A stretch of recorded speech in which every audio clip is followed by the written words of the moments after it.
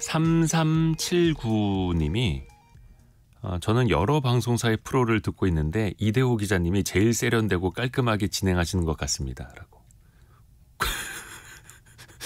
조금 더 읽어드릴게요. 공부와 준비도 철저하게 하시는 것 같아서 신뢰성을 높여주시는 것 같아요라고 화이팅이라고 보내주셨는데 아, 이런 문자를 낯간지럽지만 제가 직접 읽는 건 도파민이 나오기 때문입니다. 어, 아, 네. 감사드립니다. 감사드립니다. 저는 이런 청취자분들의 응원글을 읽을 때 도파민이 나오거든요. 자, 소비 트렌드를 분석해보는 에, 트렌드 코리아 2024의 공저자 한다희 박사와 함께합니다. 안녕하세요, 박사님. 안녕하세요. 박사님은 어떨 때 도파민이 나옵니까? 저는 뭐 자극적인 콘텐츠 보거나 아니면 네. 좋아하는 드라마 볼때 네, 아. 도파민이 나옵니다. 라디오 출연하실 땐 도파민 안 나오나요? 아 지금도 막 뿜뿜 나오고 있어요.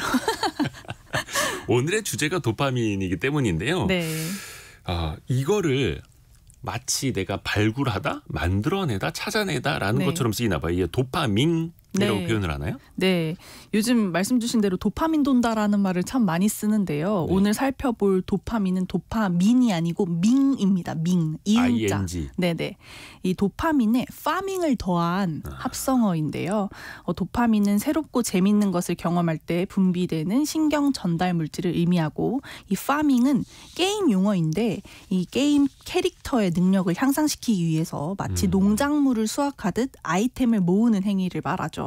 그래서 이 도파민은 즐거움을 가져다주는 도파민이 분출되는 행동이라면 뭐든 모아보려는 요즘 젊은 세대의 행동을 의미합니다. 특히 이 젊은 세대, 이 제, Z 세대라고 불리는 이 젠지 이 사람들이 네. 이 1990년대 중반에서부터 2000년대 초반 출생 세대인데요. 요 세대에서 좀 많이 나타나는 현상입니다. 최근 온라인상에서 도파민 중독 테스트가 인기를 끌기도 했어요. 근데 심각한 의학적 테스트는 아니고 내가 평소에 얼마나 재밌는 것들, 자극적인 것들을 좋아하고 있는지를 살펴보는 테스트였습니다. 그래서 이 도파민을 유의의 일종으로 생각하는 젊은 세대의 일면을 보여준다고 해석할 수 있죠. 유희의 일종으로 생각한다. 이게 사실 이제 Z 세대들 이야기이기는 한데 어르신들도 이제 고스톱 게임 같은 거 핸드폰으로 하실 때 주변에서 아들 딸들이 아유 엄마 아빠 뭐 하는 거야? 뭐, 야 이게 바로 도파밍 하는 거야. 아, 네, 그럴 수또 있죠. 이렇게 네. 써먹으실 수가 있는 건데 어, 일단 재미를 찾는 혹은 이런 도파민이 더 중요해진 이유가 있을까요? 네, 맞습니다. 이 사실 인간은 본능적으로 재미를 쫓는 존재예요. 그래서 이 재미 추구 행동이 어제 오늘 일이 아닙니다. 음. 그런데 이 도파민 트렌드는 요즘 젊은 소비자가 재미라고 느끼는 속성이 좀 과거에 비해서 훨씬 더 다양해지고 지속 시간은 극도로 짧아졌다는 현상에 주목한 키워드인데요. 시간이 짧아지고 있다. 네, 네. 이유는 바로 쇼폼 콘텐츠, 짧은 콘텐츠들 때문입니다. 어, 실제로 요즘 이 각종 플랫폼에 눈과 귀를 사로잡는 짧은 콘텐츠들이 차고 넘칩니다. 그래서 소비자들에게 자극적이고 짧은 재미가 너무 당연해지고 있는데요. 네. 유튜브는 쇼츠, 인스타그램은 릴스, 뭐 틱톡 이런 짧은 콘텐츠들이 우리의 1분 1초를 가져가고 있는데 음. 실제로 유튜브가 2020년 처음으로 1분 이내 짧은 영상인 쇼츠를 선보인 후에 2023년 1월 기준으로 유튜브 시청자 view의 약 80% 이상이 쇼츠에서 발생을 하고 있습니다. 그래서 과거에 비해 훨씬 더 시각적이고 본능적이고 직관적이고 강렬한 형태로 재미가 변화하고 있다는 거죠. 그래서 강렬한 재미, 이 도파민 트렌드가 최근 더 주목을 받고 있습니다. 여기 빠지면 안 되는데 이게 그 숏폼, 네, 쇼츠 맞아요. 그 짧은 영상 보기 시작을 하면은 분명히 이게 1분도 안 되는 영상들인데 어느새 30분 넘어가고. 맞아요. 네. 그래서 저도 지난 주말에 보다가 한 30분이 넘은 거여서 엄청 자책했습니다. 네. 내가 또 여기 걸려들었구나. 네, 저도 맨날 그래요. 아, 이게 이제 도파민이 나오기 때문에 네. 시간 가는 줄 모르고 빠져드는 건데 혹시 어떤 상황에서 이런 그런 강렬한 재미, 네. 도파민을 찾게 해야 될까요? 네, 먼저 결과를 예측하기 어려운 랜덤 상황 속에서 의외의 결과를 재미로 받아들이는 그런 소비자들이 많아지고 있는데요. 어, SNS에서 한때 인기 있었던 챌린지 중에 랜덤 코디 챌린지가 있어요. 한 사람이 안대를 쓰고 상의, 하의, 액세서리, 신발까지 어, 두 개 중에 하나를 랜덤으로 골라서 최종 코디를 완성시키는 챌린지입니다. 그런데 이걸 못 보고 골라요. 그래서 대부분 서로 어울리지 않는 엉뚱한 옷들이 매칭돼서 보는 이들로 하여금 웃음을 자아내는 콘텐츠입니다. 이것도 랜덤 상황에서 느끼는 재미를 즐기는 거죠. 음, 또 다른 예시로는 랜덤 음료 뽑기 챌린지가 있어요.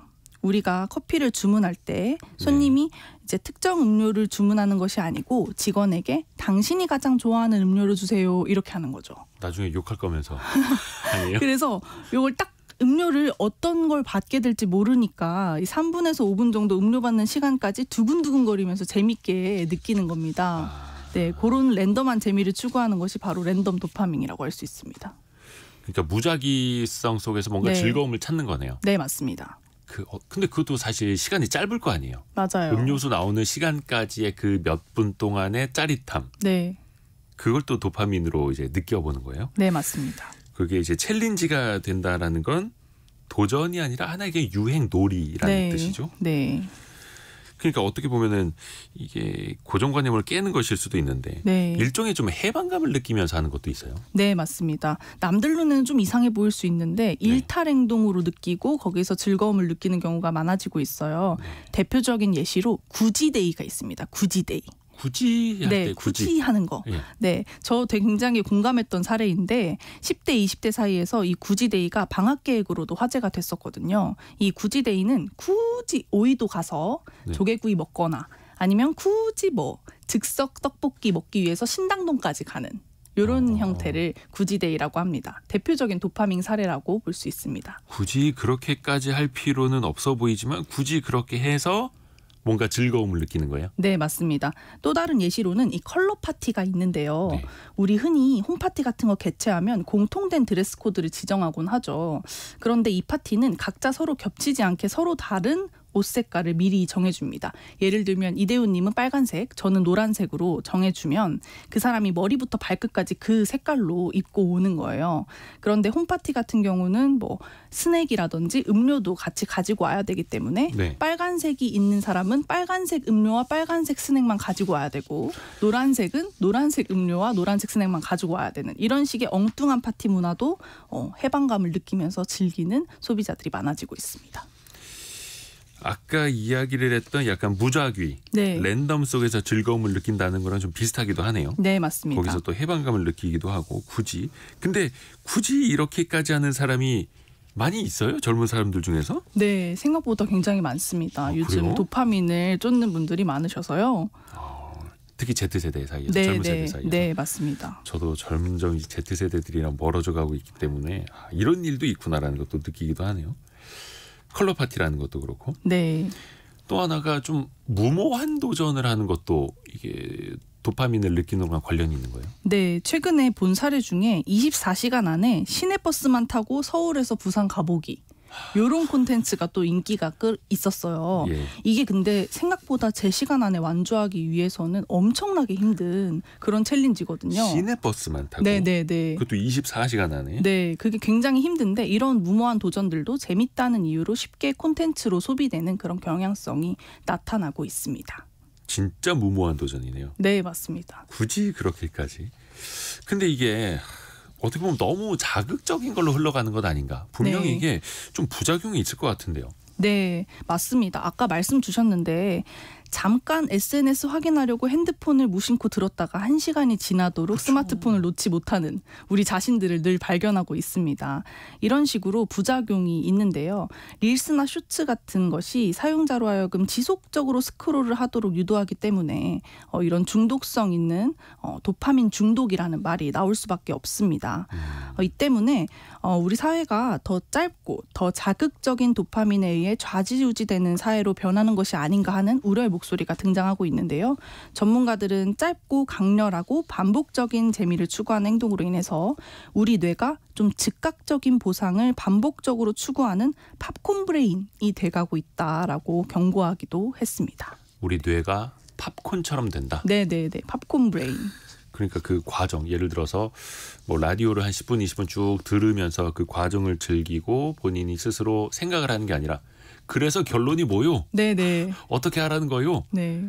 이런 분들도 또 나타나고 있죠. 그래서 도파민을 오히려 또 억제하기 위한 움직임도 나타나죠. 네, 이 Z세대는 좀 글로벌하다는 그런 경향성이 있는데 어, 최근 미국 Z세대 같은 경우는 이 스마트폰에서 벗어나서 인터넷 사용을 줄이려는 노력도 또 트렌드화되고 있어요.